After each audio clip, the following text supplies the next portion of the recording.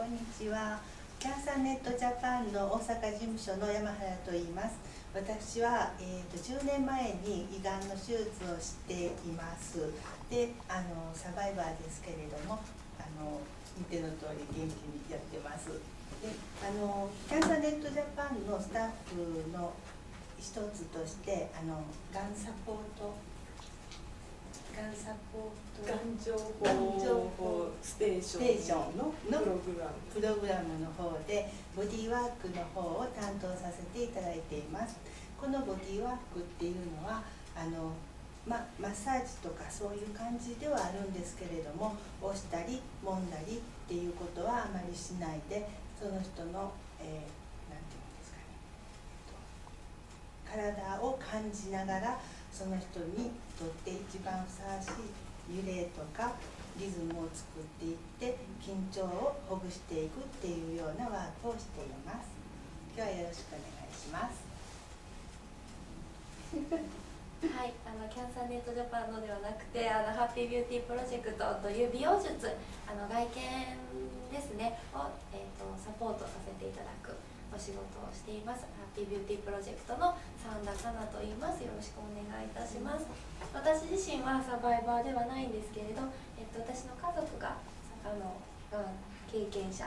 です、はい、10年ほど前なのでもうすっかり一応元気で、はい、働いたり買い物しまくったりしていますが で、まあ、普段はあのがん患者さんそしてあの脱毛を経験されている方々のサポートをしています。あの例えばウィッグのサポートをさせていただいたりまつげや眉毛も抜けてしまいますのであのまつげや眉毛を補うメイクだったりとかお出かけのサポートみたいなこともしています、はい、よろしくお願いいたします。えー、3人目最後になりましたけれども、えーと、山原さんと同じく、えーと、NPO 法人キャンサーネットジャパンの大阪事務局におります橋本です。よろしくお願いいたします。えーと、私自身は、えー、と6年前に、えー、と乳がんを体験いたしました、えー、ともう晴天の霹靂と申しますか。あのなんで自分が乳がんにって思ったのが、まあ、あの素直な感想です。でもあの6年経ってあのすごく元気で来ております。あの今日はどうぞ。いろんな話をあの聞かせていただきたいと思いますのでどうぞよろしくお願いいたします。えー、ではお話の方に移らさせていただきたいんですけども、えー、っと主にですね美容とかあと私すごくあの実は今日はあの山原さんにボディーワークのことを実はお伺いしたいと思ってるんですね、はい、あのちょっとこの間質問もありましてあのボディーワーク自体っていうのが皆さんまだよくちょっと認知されてないというのがあるので、ねはい、あのちょっと順を追っていろいろお伺いしたいと思いますので、はい、よろしくお願いします。えーと、まずじゃああの三田さんなんですけども、はい、あのまあ、患者さんとかなりあの接する機会が多いと思うんですけどもあの、まあ、お仕事をなさってらしてあのやはりほとんど女性ですかね。そうですね、はい、あの一度新聞に取り上げていただいたことがあったんですけれど、あの女性対象とは書いてないんですけれどやはり外見のこととなると気を使いやすい女性という方たちが、えーと100%の確率で電話をしてきてくださっています、うん、あの例えば悩みとしては一番どういうことが多いですか？そうですね。まだウィッグをあのかぶっていらっしゃらないこれから脱毛期に入りますとかすでにこう脱毛はしてしまっているけれど帽子で過ごしていますっていう方たちはあの今後どういうふうに過ごせるかっていう提案をあの求めてらっしゃいましたし、えっと、現にかぶってらっしゃる方はあの今かぶってるものがやっぱり最善のものじゃないんじゃないかっていうふうに不安を持たれているのでな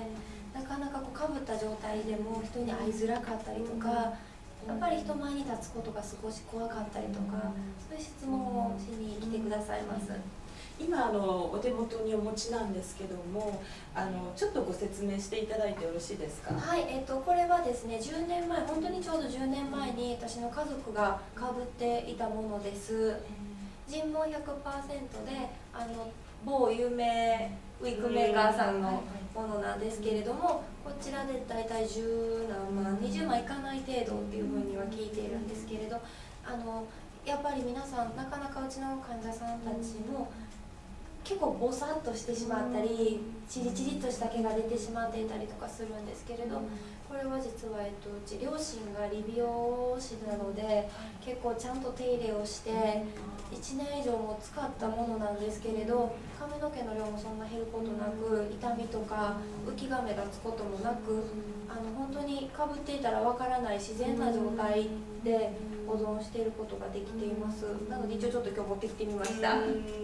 あの皆さんですねやはりあのカツラ普段多分お使いになられる方っていうのは今回その治療始められて初めて使うとかっていう方も結構いらっしゃるかと思うんですけども、はい、あの例えばですね普通のおしゃれのカツラと医療用っていうのはまたちょっと違うと思うんですね。であの例えばその実際にこうえー、カツラを作られた方から例えばこんな点がすごく好評だとかあとその患者さんとお話しされてていやいやこれからもっとこういう点を改善してあげたりとかあのやっぱり患者さん一応その、まあ、がんとか他の病気の方もいらっしゃるかと思うんですけどもやっぱり女性でも男性でも病気になってもあのおしゃれを楽しみたいっていう方はぱいいらっしゃると思うんですね。でそのカツラだけじゃなくて例えば他の美容用の面とかも何かこれからあの考えていきたいとか今すごい最大のここが私のやってるあのアピールする点だとかっていう点がありましたらあのお話しいただけますでしょうか？はいえーと、私が今現在やっていることは、あのお医者さんとか、取り巻く家族だったりとかウィッグメーカーとかそういった方たちがされている方法とは違う方法をとっています。あの美容師っていう外見をメンテナンスする人たちだからこそできるカウンセリングだったりとかあのここ浮いてるからこうした方がいいよとか家族だったらなかなかちょっと変でもこう気楽に変って言える時もあるけれどその最善な方法を逆に提案をしてあげれないことも多いのでそれをできることとして私はやっています。でウィークなんですけれど私は作ってることはなくて実はあのいいものを一緒に選ぶということをしています、はい、いろんな会社さんのものを一緒に見比べたりとか実際に商品を私の方で取り寄せてみることで会社さんはなかなか自分で見て決めれないこともあるのでやっぱり素材によって弱いもの強いものとかがあるのでそういうのもこう一緒に考えて選ぶっていうお手伝いをさせていただいています。あのやはり皆さんこう買った後のことをやっぱり心配されて、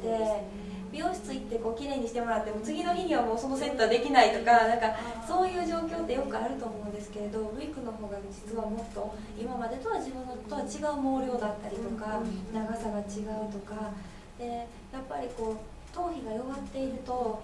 ちょっとしたことがこう気になって痛いとかこうボソボソだったら脱げそうで怖いんですけど締まりすぎていたらアジャスターの部分が負けてしまうとか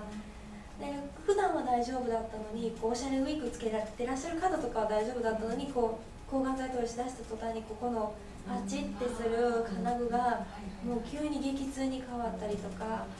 なんか本当にそういうでしんどい時にこう細かい作業ができないので私の方で「あ取りますよ」って言ってそのアジャスター取ったりとか調節したりとか。ぱり毛量変わってくるとボサボサになボコボコってなってくるので、あの塗ったりとかそういうことをしています。ありがとうございました。